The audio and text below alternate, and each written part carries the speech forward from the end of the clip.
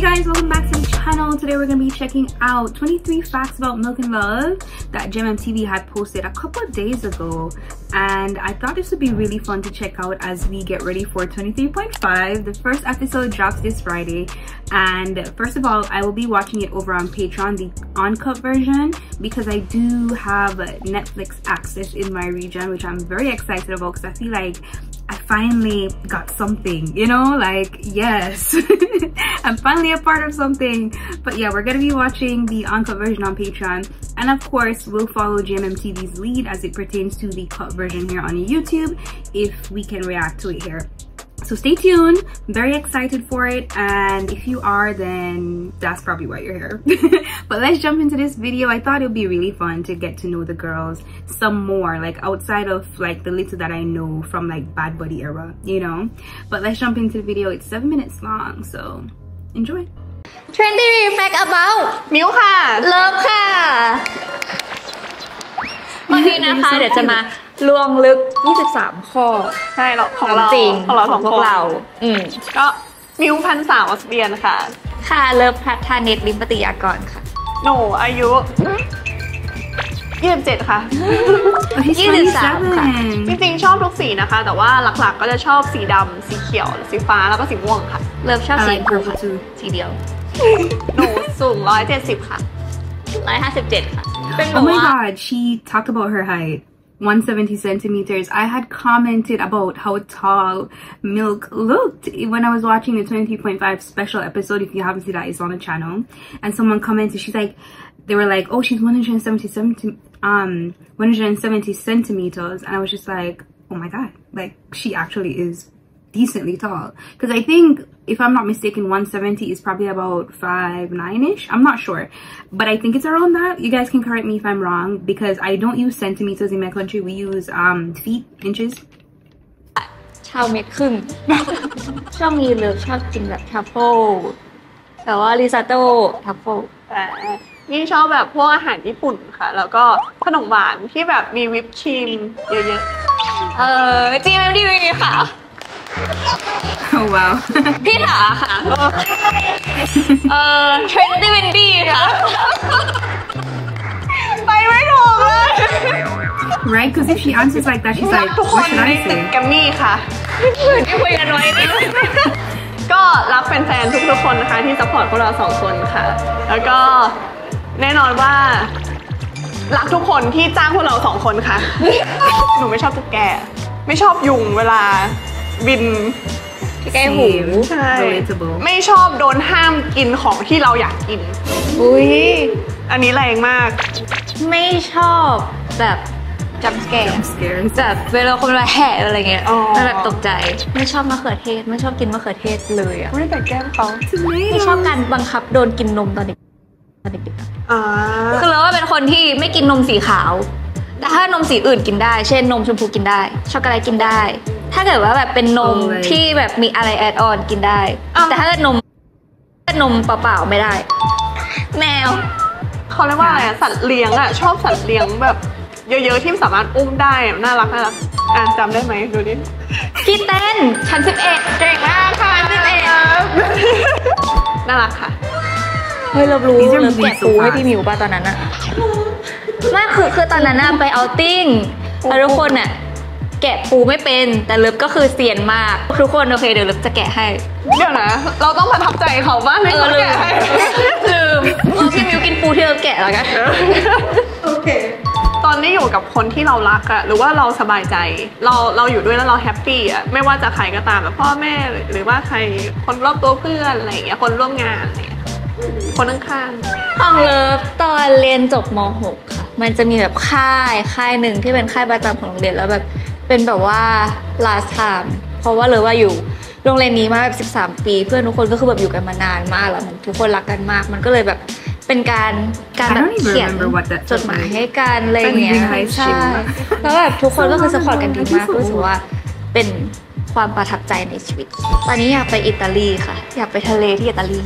ชอบญี่ปุ่น Oh, that's a แต่ว่า good ตอนเนี้ย choice. อยากไปฮ่องกง อยากลองไปเห็นเห็นเขาว่าดี Same. I want to go to Hong Kong so bad. Like, there are lots of countries that I want to go to, but Hong Kong has really piqued my interest recently because there's this couple that I follow um, that I watch on YouTube on my other channel, my vlog channel.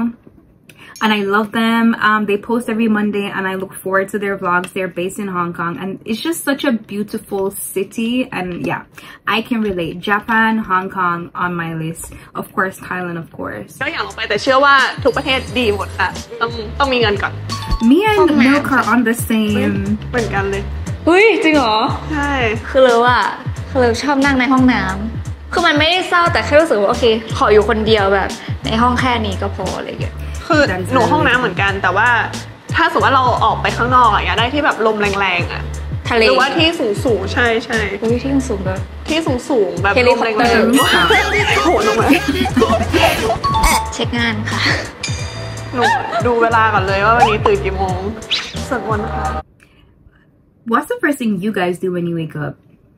That's a good question. What do I do first when I wake up? Most of the time, I feel like I check my phone. I probably check my phone most of the time, which is so bad. You ever see those videos of people that talk about the fact that you need to be more present, like when you wake up, like instead of like checking your phone, trying to see like updates, just kind of like be more in the moment, I guess. You know, for at least 15 minutes before you start your day or check your phone or any devices. I want to try doing that because, yeah, it's bad. อุ้ยทำมาทำโม Last thing you do before bed, ตั้งนาฬิกาปลุกค่ะ probably watch a เชื่อ series หนู or เชื่อ something. ไม่ว่าจะเป็นช่วงจังหวะชีวิตตอนไหนก็ตาม แต่ถ้าเรารู้สึกว่าเอ้ยอันนี้แหละ ก็จะเรียกว่ารักแรก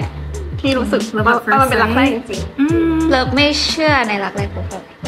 เพราะเรารู้สึกว่า I don't ทุกอย่างมันต้องศึกษาทุกอย่างมันต้องเลือกมันต้องคิดก่อนอะไรอย่างเงี้ย same. My tomorrow your yesterday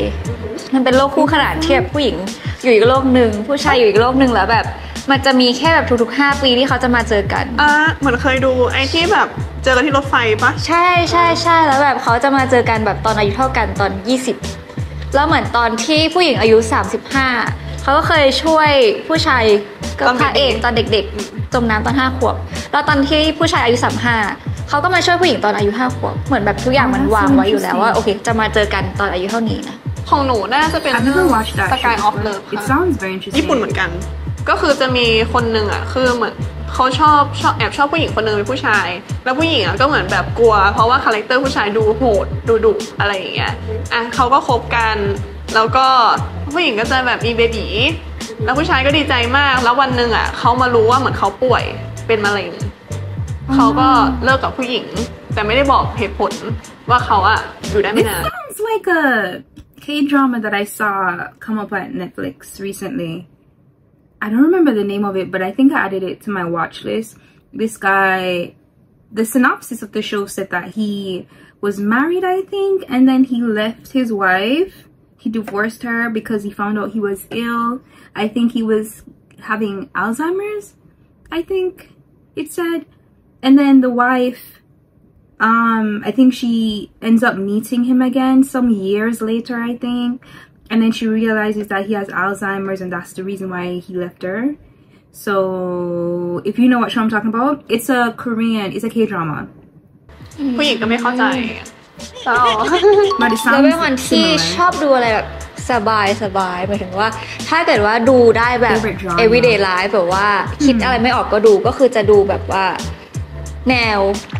การ์ตูนแฟนตาซีแบบ good or bad เอ้ย good and bad school คือคือคล้ายๆน้องเลิฟตรงที่ว่าดูสบายสบายสบาย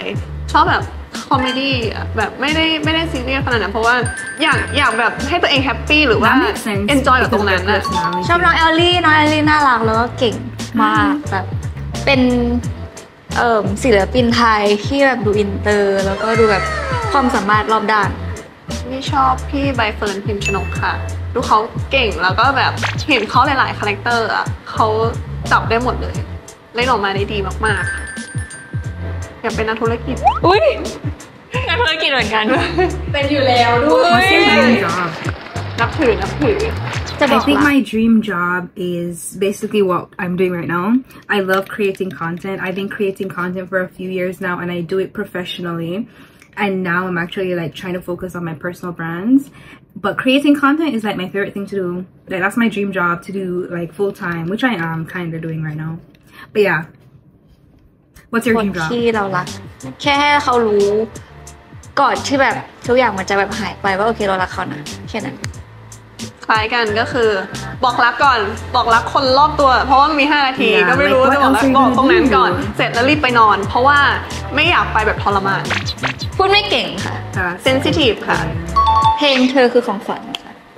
ในเนื้อคือหากเธอเป็นภูเขา ฉันจะเป็นต้นไม้ ตอนนี้ก็คือเป็นพระอาทิตย์นี่ก็เป็นโลกอะเออเรื่องต้องได้ Oh, แบบ wow, มี that's คู่กัน perfect. เขิน I'm blushing. เพลงจะไม่บอกใครว่าเธอชอบฉันก่อนเพราะว่า เป็นเพลงแรกที่ร้องกับน้องเลิฟอะค่ะเอ่ออยู่กับพี่อาจจะปวดหัวหน่อยแต่ว่าสู้ๆไปด้วยกันนะ เออ อะไรดีอะเยอะมากเลยอะของพี่มิวอะหนึ่งพลังกามีสติ Put เอียง yourself ตัวมาเอียงเข้าสู่จักรวาลความน่ารักของพวกเราใน 23.5 องศาที่โลกเอียงค่ะ ทุกวันศุกร์เวลาสองทุ่มครึ่งนะคะทางช่อง GMM 25แล้วมาดูกันนะ It's so funny because, you know, when I was watching this special episode, I think it was a director that said that basically, you know, with the casting, Milk and Love are so much like the characters that they were gonna play on screen. And the more I watch them is the more I see it. Like I haven't even seen the series yet, but I mean, none of us have, but like you can really tell that they do embody their characters because it's so funny just seeing like the the dynamic between the two of them and like how different they are. It's really cute though. But I can't wait. I can't wait for Friday. Looking forward to this. This I feel like this GL is just gonna give me all the feels. I feel like it's just gonna give me just all the right feelings. You know, like MSP. It's giving MSP. It is. It is, and I feel like this is gonna be that Gio. Like it's just gonna be that girl. Nobody can tell me otherwise. I said what I said. Anyways, if you guys enjoyed this reaction, leave a thumbs up, subscribe if you haven't already, and stay tuned Friday because we'll be watching 23.5. I mean, um, seeing that, well, it's gonna come out 8:30 p.m. Thailand time, so I should well 9:30 on Netflix, so that means it's gonna be 9:30 a.m. on Friday for me. So I'm not sure if I'm gonna be posting my reaction on Fridays or Saturday mornings, but stay tuned and yeah, it'll be one of those days. and I'll see you guys in the next one. Bye.